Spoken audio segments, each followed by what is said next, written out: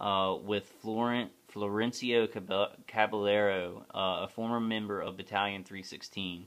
Caballero said CIA instructors taught him to discover what his prisoners loved and what they hated. If a person did not, not like cockroaches, then that person might be more cooperative if there were cockroaches running around the room. The methods taught in 1983 manual and those used by Battalion 316 in the early 1980s show unmistakable similarities. In 1983, Caballero attended a CIA Human Resources Exploitation or Interrogation course. According to the declassified testimony by Richard Stoltz, who was the Deputy Director for Operations at the time, before the June 1988 Senate Select Committee on Intelligence. The manual advises an interrogator to manipulate the subject's environment to create unpleasant or intolerable situations. And that is done to target individuals every day and that is that's a that's why um, you know gang stalking is used because they want to make uh, the subject's environment uh, intolerable uh, wherever they go. So they do use people, DHS fusion centers, and um, you know InfraGard to make every environment hostile, um, so that you you can never uh, you know you can never have uh, what humans need equilibrium so it keeps you uh, on the defense uh, and keeps that psychological regression going. The manual gives the suggestion that prisoners be deprived of sleep and food and, main and made to maintain rigid positions such as standing at attention for long periods. Inez uh, Consuelo Murillo, who spent 78 days in Battalion 316 secret jails in 1983, said she was given no food or water for days, and one of her captors entered her room every 10 minutes and poured water over her head to keep her from sleeping. The Human Resource Exploitation Training Manual, 1983, gives the suggestion that interrogators show the prisoner's prisoner letters from home to give the prisoner the impression that the prisoner's relatives are in danger or suffering. The Baltimore Sun reported that former Battalion 316 member Jose Barrera said he was taught interrogation methods by U.S. instructors in 1983. Uh, the first thing we would say is that we know your mother, your younger brother, and better you cooperate because if you don't, we're going to bring them in and rape them and torture them and kill them. It's very pleasant.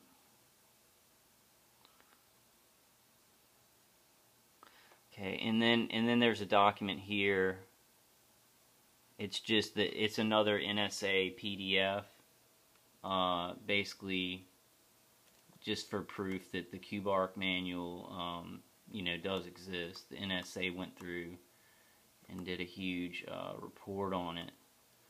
And you can go, you can just look up KUBARK, uh, CIA KUBARK, and it's like a couple of um, links down.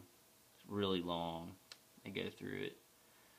Um, I kind of just want to show. I guess I, I might look up might go through Project Phoenix real quick since I have some time on this one.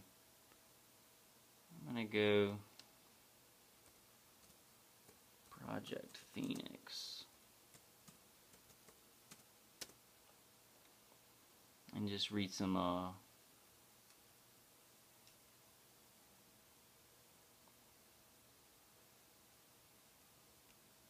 Ooh, I have a low battery. How am I not? Oh the phone. Okay, hold on one second, guys. Plug that phone in. That's why I was heating up. Uh, Phoenix. I guess it's not Project Phoenix. I guess it's the Phoenix program in Vietnam. Program. Phoenix program. Here we go. Okay, I do want to read this. I'm going to, okay, good. It's in big text, so I can get some of it in the picture. Um, so the Phoenix program uh, uh, was a program designed, coordinated, and executed by the United States Central Intelligence Agency, United States Special Operations Forces, U.S. Army Intelligence Collection uh, units from a MACV, Special Forces, Special Forces operatives from the Australian Army Training Team Vietnam and the Republic of Vietnam's the South Vietnam security apparatus during the Vietnam War. The program was designed to identify and neutralize via infiltration, capture, counterterrorism, interrogation, and assassination the infrastructure of the National Liberation Front of South Vietnam, NLF or Viet Cong. The CIA described it as a set of programs that sought to attack and destroy the political infrastructure of the Viet Cong. The major two components of the program were provincial reconnaissance units and regional interrogation centers. PRUs would kill or capture suspected NLF members, as well as civilians who were thought to have information on NLF activities. Many of these people were then taken to interrogation centers and were tortured in an attempt to gain intelligence on VC activities in the area. The information extracted at the centers was then given to military commanders, who would use it to task the PRU with further capture and assassination missions. The program was in operation between 1965 and 1972, and similar efforts existed both before and after that period. By 1972, Phoenix uh, operatives had neutralized 81,740 suspected NLF operatives, informants, and supporters, of whom between 26,000 and 41,000 were killed. History uh, The interrogation centers and PRUs were developed by the CIA's uh, Saigon Station Chief uh, Peer de Silva. De Silva was a proponent of a military strategy known as counterterrorism, which encompasses military tactics and techniques that the government, military, law enforcement, and intelligence agencies use to combat or prevent terrorist activities, and that it should be applied to strategically to enemy and that it should be uh, applied strategically to enemy civilians in order to reduce civilian support for the Viet Cong. The PRUs were designed with this in mind and began targeting suspected VC members in 1964. Originally, the PRUs were known as counter-terror teams, but they were renamed to Provincial Reconnaissance Units after CIA officials became wary of the adverse publicity surrounding uh, the use of the word terror.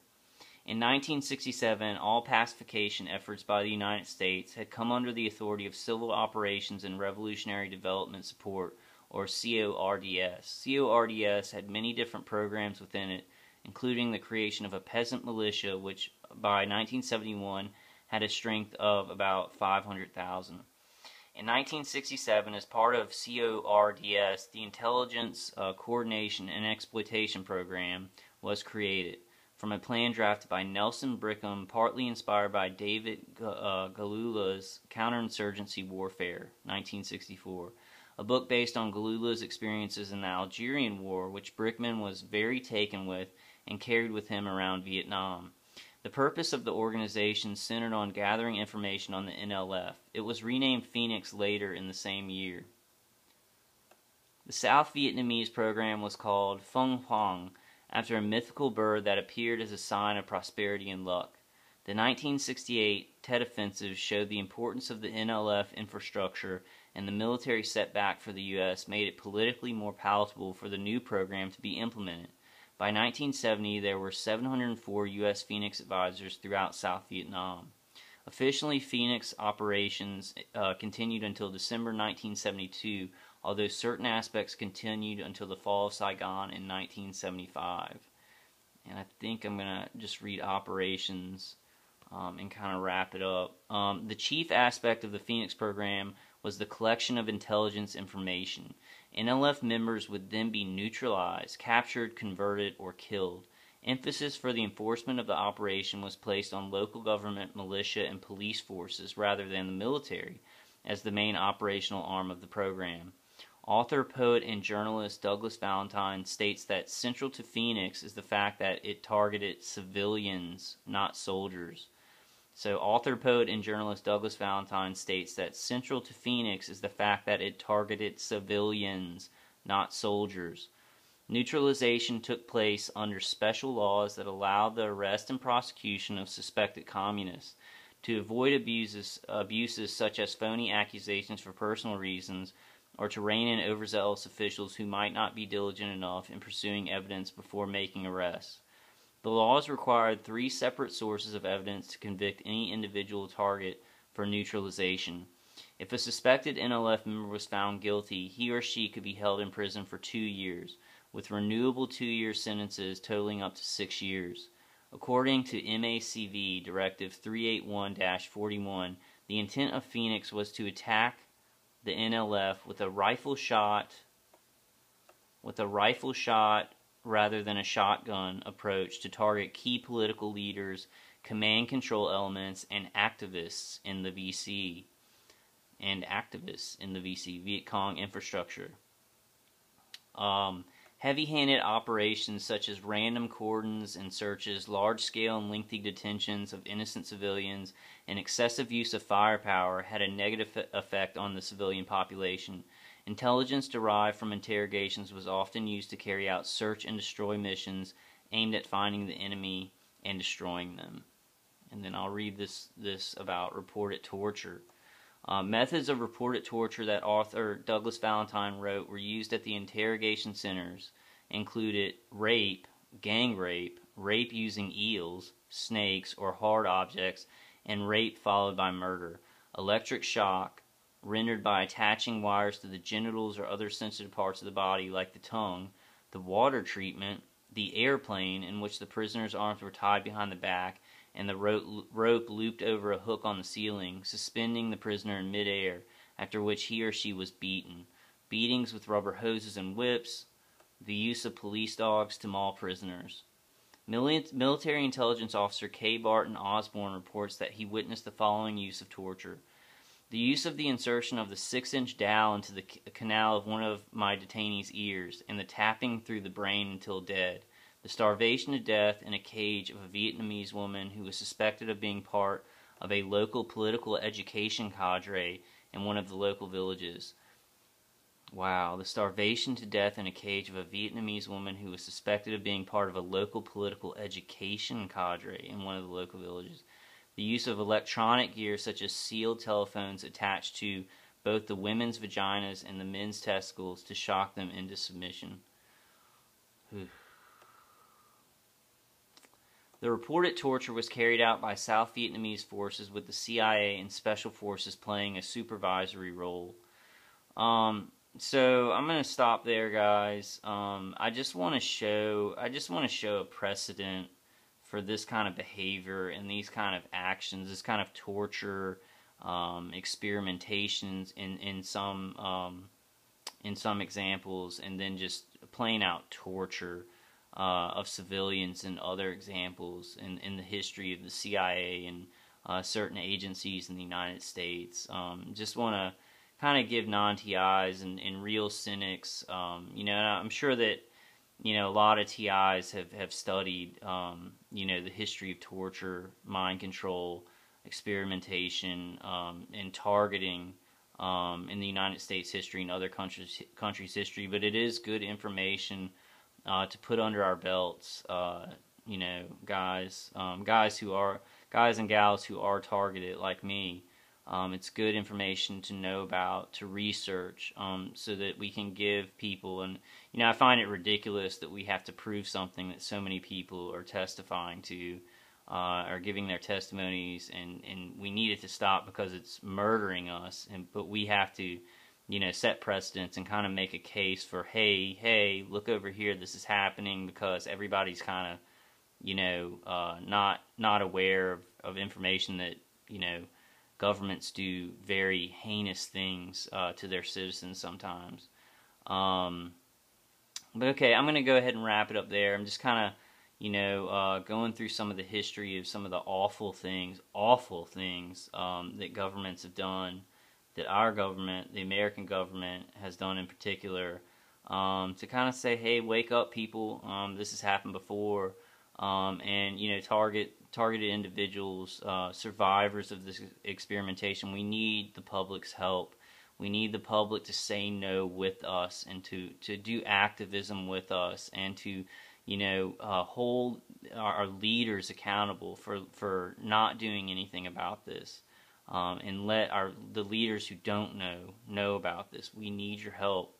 I mean, I'm being murdered on a daily basis along with other targeted individuals. Um, you know, torture on levels that are just unimaginable. Um, but all right, guys, I'm gonna I'm gonna I'm getting to 30 minutes. I'm gonna stop it there, but uh, more to come for the November video marathon. Um, and God is behind us, guys. We're getting close. You know, a lot more people know about this, and, and we're just to keep getting closer. So hang in there and stay strong. And God bless you guys. I love y'all, and I'll see you on the next one.